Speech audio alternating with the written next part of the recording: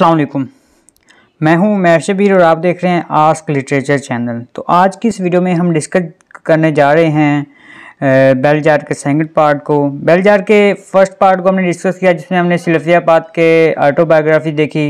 ये नावल भी उसका एक ऑटोबायोग्राफिकल है सेमी बायोग्राफिकल है। लाइक उसने करेक्टर्स और प्लेसेस के नाम चेंज किए हैं, लेकिन ये एक, उसका सेमी बायोग्राफिकल नावल है। लेकिन हमने फ़र्स्ट पार्ट के अंदर उसकी बायोग्राफी यानी कि थोड़ा बहुत उसको डिस्कस किया, फिर हमने इंट्रोडक्शन ऑफ़ नावल देखा, फिर हमने उसकी समरी देखी। इस पार्ट के अंदर हम जो है वो एनालिसिस को देखेंगे और थीम्स को डिस्कस करेंगे। लेकिन उससे पहले अगर आपने हमारा चैनल सब्सक्राइब नहीं किया तो एटलीस्ट सब्सक्राइब कर दें और क्योंकि सब्सक्राइब से क्या होता है कि इससे हमें जो है, वो एटलीस्ट ये एनर्जी मिलती है कि हम आपके लिए न्यू वीडियो लेके आएँ और आप कमेंट करके ज़रूर बताइए करें कि आपको ये वीडियो कैसे लगी, ताकि हम नेक्स्ट आने वाली वीडियो में उस चीज़ को इम्प्रूव कर सकें। क्योंकि लाइफ जो है ना, हर इंसान जो है वो एक, जिस मर्ज़ी स्टेज पर है, वो एक लर्नर है। मिस्टेक्स हर इंसान से होती हैं।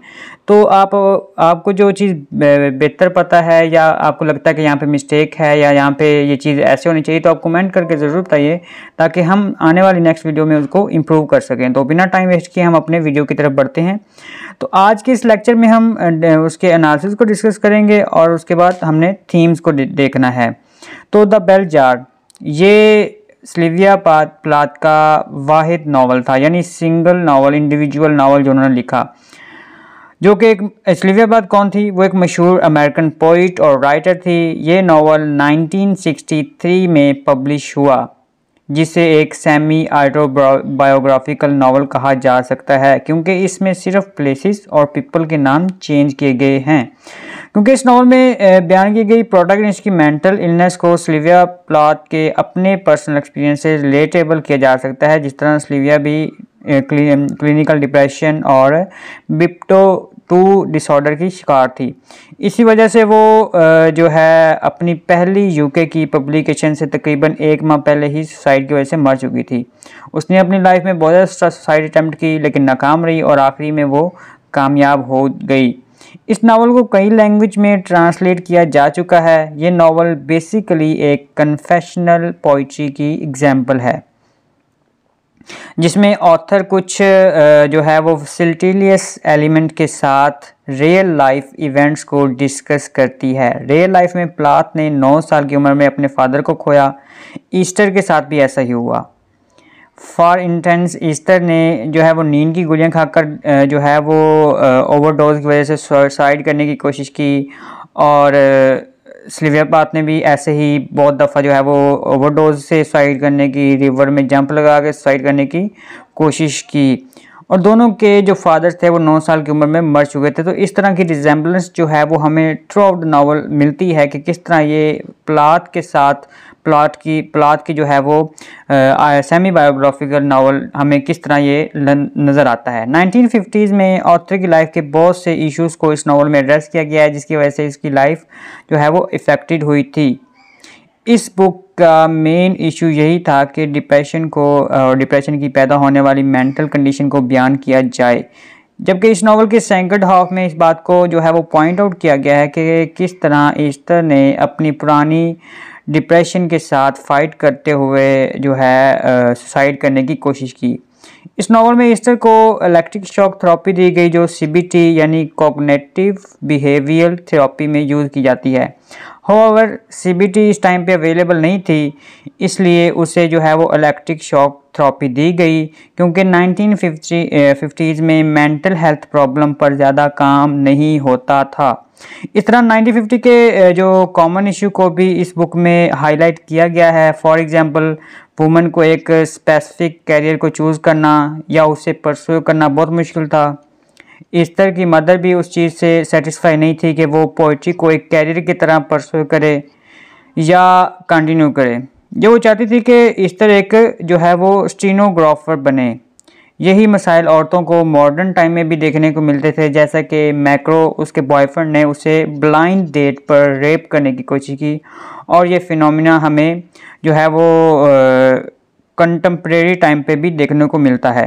नरेटर के लेंसेज के थ्रू पढ़ने वाला 1950s की वर्ल्ड को देख सकता है कि नरेटर ने जिस अंदाज में, जिस स्टाइल में, जिस लेंस के थ्रू जो है वो लिटरेचर को दिखाया है अपने अदब के अंदर, अपने नावल के अंदर, उसके थ्रू हम नाइनटीन फिफ्टीज़ के जो कल्चर है और नाइनटीन फिफ्टीज़ के जो दौर के जो टाइम चल रहा था, जो एज चल रही थी, उसको भी हम इजीली यानी एज अ रीडर हम उसको, उस वर्ल्ड को देख सकते हैं। एडिशनली इस बुक में वुमेन और स्टडीज़ जेंडर स्टडीज़ को भी दिखाया जा सकता है क्योंकि देखा जा सकता है क्योंकि इसमें जो है वो रेलिवेंट टॉपिक्स जैसा कि ट्रेडिशनल रोल्स और पोजीशन ऑफ़ वुमेन को दिखाया गया है और ये मिड ट्वेंटी सेंचुरी को रिफ्लेक्ट करता है। जेंडर एक्टिविज़म भी इस नावल में क्लियरली नज़र आता है। ईस्टर एक फेमिनिस्ट है और उसका ये बिलीव है कि वो सोसाइटी की एक्सपेक्टेशन के ख़िलाफ़ जाकर भी अपने ड्रीम्स को परसू कर सकती है। किसके ज़रिए? लिटरेचर के ज़रिए इस सोशल इश्यूज़ को इस नावल में प्रेजेंट भी किया गया है।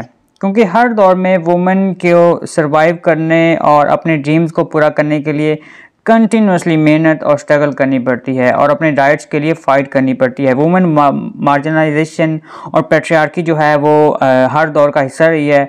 वुमेन्स जो है वो शुरू से स्ट्रगल करती आई हैं।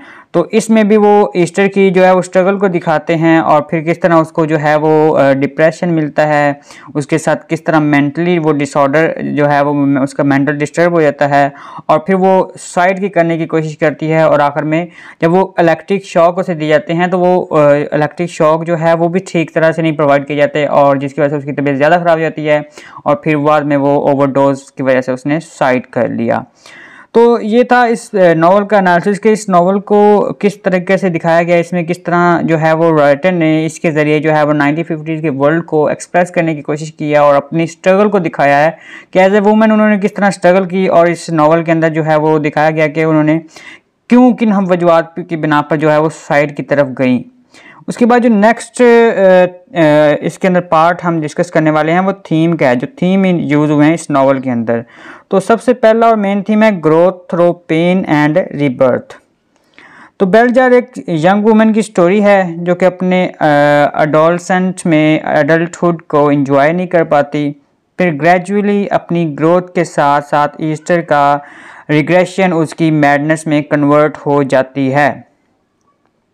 न्यूयॉर्क शहर में उसका पहला मैरिज प्रपोजल का आना कॉलेज में कामयाबी हासिल करना, ये तमाम चीज़ें जो हैं वो उसने अपसेट और डिसोरिएंटेड कर दिया। वो जै वो जैसे कि नया मकसद तलाश करने का बजाय नया मकसद उसका था ही नहीं कोई। वो उसको कामयाबी मिल गई और उसका नया मकसद तलाश करने की बजाय वो की सुसाइड करने की तरफ़ उसकी तवज्जो चली गई। इस तरह की स्ट्रगल सर्वाइवल और अचीवमेंट को इस नावल में हीरोइक वे में दिखाया गया है। कि जैसे कि उसकी छोटी ज़िंदगी को छोड़कर सुसाइड करने की ख्वाहिश और नोबल उसको अपने आप को नोबल तस्वर करना और अपनी सोसाइटी को जो है वो दिखाना कि अपनी स्ट्रगल दिखाना और अपनी सैनिटी को सेव करने के लिए उसने जो स्टेप उठाए, उसने उससे और भी ज़्यादा डिग्निफाइड कर दिया। ईस्टर के करेक्टर के थ्रू राइटर ने शादी कर जो है वो करवा के या फैमिली बना के फिक्शनल हीरोइंस की तरह मेच्योरिटी और ट्रेडिशन को प्रजेंट नहीं किया है, बल्कि उसके वुमेन हिट के परफेक्ट मॉडल को रिजेक्ट कर दिया है। अगर हम दूसरे थीम की बात करें, इसके अंदर तो the emptiness of conventional expectation इस तरह की इस तरह ने जो है वो सोसाइटी की एक्सपेक्टेशन और अपने एक्सपीरियंस के दरमियान गैप को ऑब्ज़र्व किया और उस गैप की कन्फ्यूज़न की वजह से वो मेंटल इलनेस का शिकार होगी जो कि मैडनेस का इंटेंस लेवल था। यानी सोसाइटी में इस तरह की एज की दूसरी औरतों से ये एक्सपेक्ट किया जाता है कि वो आ, क्या हैं वो चेयरफुल कॉन्फिडेंट और फ्लेक्सिबल होंगी मगर इस तरह उन एक्सपेक्टेशन से बिल्कुल अपोजिट नज़र आई।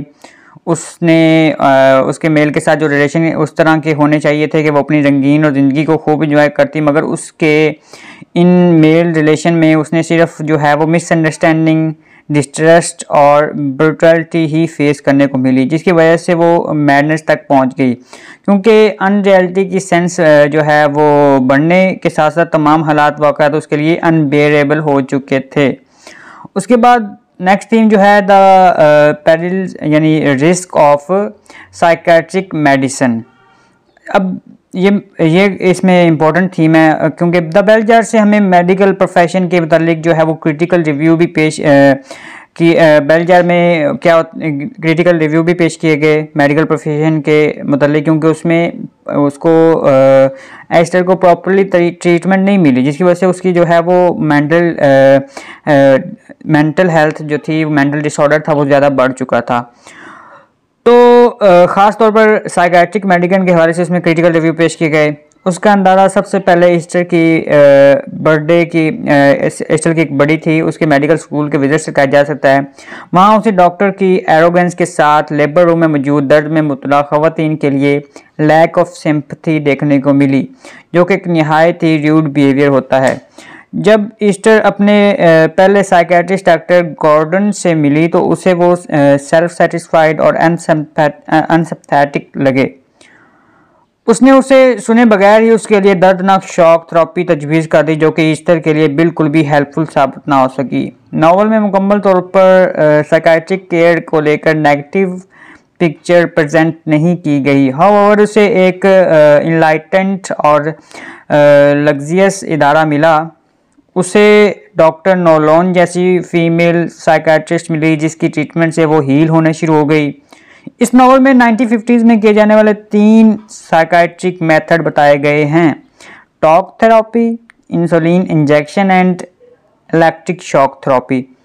लॉन ने प्रोपगेटर में ईस्टर को ये तमाम थेरापी मुहैया की, इवन के एक ट्रीटमेंट ट्रायल के बाद उसने नाइफ्स और दूसरी सुसाइडल टूल्स के बारे में सोचना छोड़ दिया। किसने? ईस्टर ने।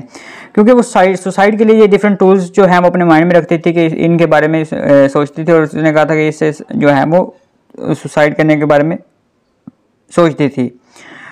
तो इस शौक थेरेपी में उसे रिलीफ तो मिला, मगर ईस्टर की जो है वो sharp intelligence Aahista Aahista blunt होना शुरू हो गई, जो कि उस वक्त की ट्रीटमेंट का एक साइड इफ़ेक्ट हो सकता था। और उसमें उसे वक्ती तौर पे तो हील मिला, लेकिन जब वो जो है वो डिस्चार्ज होकर घर चली गई उसके बाद फिर उसकी तबीयत फिर ख़राब हुई और उसने डेथ यानी उसकी मौत होगी साइड होगी ना साइड किया उसने ओवरडोज ली और उसकी डेथ होगी। तो ये आज के हमारा टॉपिक था, जिसमें हमने बेलजार के सेकंड पार्ट को डिस्कस किया। इसमें हमने उसका अनालिसिस और थीम्स को डिस्कस किया और सबसे एंड पे भी मैं कहना चाहता हूँ आपको कि इस चैनल को सब्सक्राइब करना मत भूलिएगा।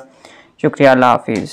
और कमेंट करके लाजमी बताइएगा कि ये वीडियो आपको कैसी लगी। अगर इसमें कोई मिस्टेक है तो वो भी लाजमी बताइएगा ताकि हम इस आने वाली नेक्स्ट वीडियो में इन चीज़ों को इम्प्रूव कर सकें। तब तक के लिए इजाज़त दीजिए। शुक्रिया, अल्लाह हाफिज़।